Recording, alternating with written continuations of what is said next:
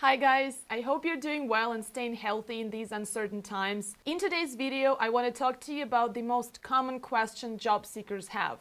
Should your LinkedIn profile look the same way as your resume? Whenever I look at people's profiles on LinkedIn, I realize that a lot of professionals are still stuck somewhere before 2016, which is the year when Microsoft bought LinkedIn and made it part of their portfolio. It was, by the way, the largest acquisition made by Microsoft to the date when I'm recording this video. So, in today's video, let's clarify this once and for all. What is the difference between your resume and your LinkedIn? Before we get down to it, don't forget to subscribe to this channel to receive more help and advice in your job search. I've been hearing from so many people who have landed awesome work gigs just by following the recommendations I share in my YouTube videos. So who knows, the next success story we hear about could be yours. Now, let's highlight the number one reason why your LinkedIn and your resume should be different.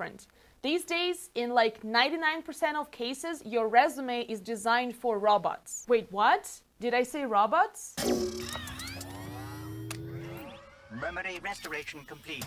Yes, you heard me right. When you're applying for jobs online, your resume goes directly into the power of the applicant tracking system, which is a software that screens your resume for relevant keywords and decides whether you're a good candidate to pass along to a recruiter or the HR specialist who then decides whether it's worth giving your call or not. LinkedIn, on the other hand, gives you a super important advantage. Yes, there's the algorithm, but basically your profile is designed for people to look at. So you get a shot at impressing people with what you have to offer, with your story, with the skills and qualifications that you have, and the way you position yourself for the job that you're currently looking for. You can also think about it this way. If someone tells you to look at an object far away, the first thing that you're going to do is probably turn towards that object. That is essentially what your LinkedIn profile does. It turns you more towards your career goals and the jobs that you're currently targeting. But then, if you want to look really closely at that object to see it in better detail, you will zoom in to actually be able to see those small details.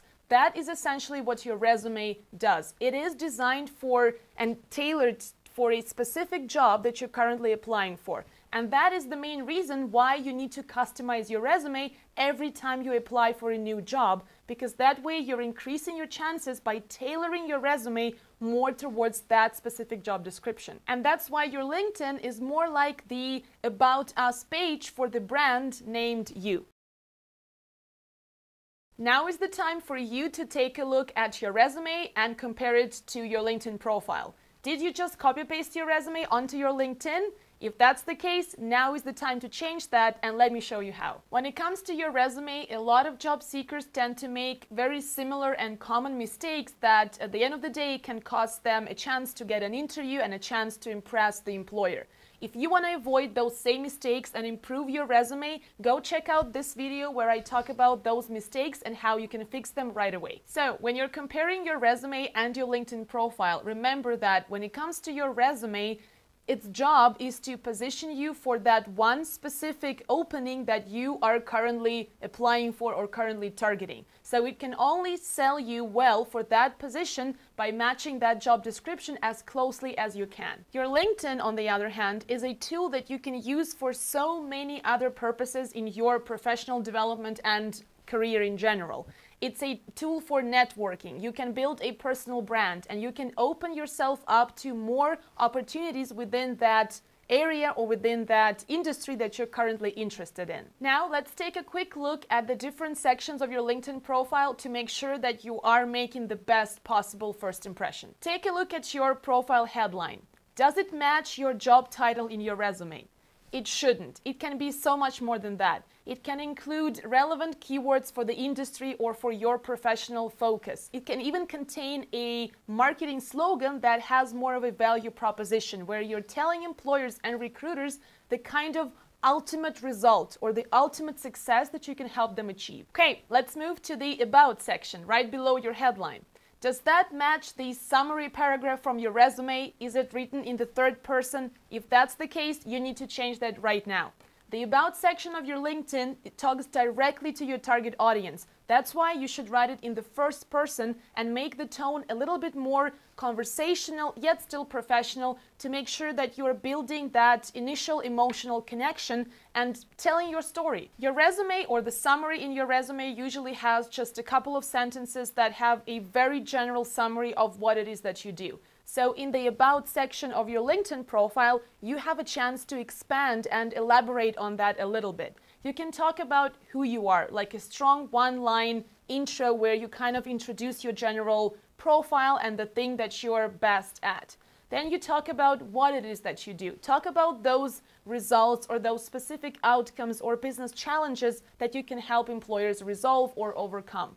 Then you can talk about how it is that you do that. So, what kind of unique skills, talents, or credentials or qualifications you leverage to, in order for you to be able to deliver and do a really good job. And finally, talk about the things that make you stand out. So maybe two or three highlights that you're most known for. Something that your colleagues, your leaders, and other people can remember you by, and something that really makes you different from the average candidate in this, with the same level of qualifications and credentials. Now let's move to the experience section of your profile. Again, no need to copy paste all of the bullets that you're highlighting on your resume. On your LinkedIn profile, you can talk a little bit more general and maybe choose one or two top highlights per each role. That is more than enough to give you keywords and enough exposure and give that teaser to your target audience that makes them want to find out more. So, the key takeaway here is that LinkedIn gives you a lot more freedom to choose the format in which you want to tell your story. You don't have to stick to the resume lingo, you don't have to have long lists of skills and credentials. You can Pick a format that helps you be more compelling and make sure that people get a feeling of your personality, of your voice, and the kind of experience and background you bring to the table. Another important difference that is definitely worth mentioning here is that your resume is mainly focused on your past. So we talk about past results, past accomplishments, and previous work experience your LinkedIn profile can be a lot more oriented towards the future and be forward looking in a way. So you can talk about the goals and you know the application of everything you've done in the past to future challenges and projects. That way you kind of bridge the, the past, the things that you already done, with the things that you currently are, you know, looking for and you're interested in. I know that for a lot of you, it can be challenging to narrow down your messaging on your LinkedIn profile because you might be thinking, well, it's a difficult time right now. I don't have the luxury to just apply for certain types of roles and I'm targeting whatever I can get pretty much. And I totally understand where you're coming from. But remember, there is nothing wrong with narrowing down your focus because if your messaging on your LinkedIn profile is broad and includes a little bit of everything, the way it is perceived on the other end, so the way recruiters and employers will see it as kind of nothing really. So there is no focus, there is no clear target. So if you want to write a compelling and successful LinkedIn profile, the number one thing to keep in mind is who is your target audience? Create and tailor your message towards those companies and those people. It doesn't mean that you will only be targeting them exclusively. You might still get inquiries from other people and companies outside of that target group. But what matters is you create that focused messaging that can give you a lot more leverage and can make you a, much more attractive and compelling candidate at the end of the day. If you want to learn more about optimizing the different sections of your LinkedIn profile, make sure to check out this video where I review real LinkedIn profiles and share actionable and super practical recommendations. So, if there's one thing that I would love for you to take away from this video today, it's this.